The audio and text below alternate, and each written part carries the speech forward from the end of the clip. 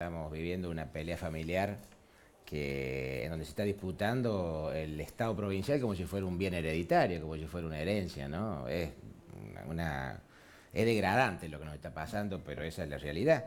Y este, mm, bueno, nos quieren hacer creer a los puntanos que está, son oficialismo, oposición, cuando en realidad son lo mismo.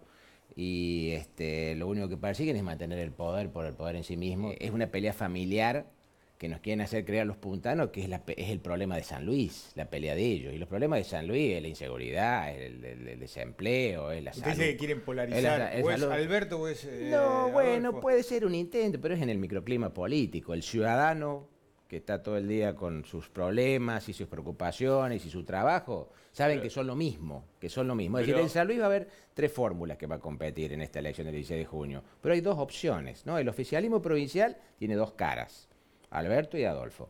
La oposición por primera vez del año 83 se unió toda, toda, el 100%, ¿no? Y o sea que usted tiene una chance, porque el voto de los Rodríguez se divide.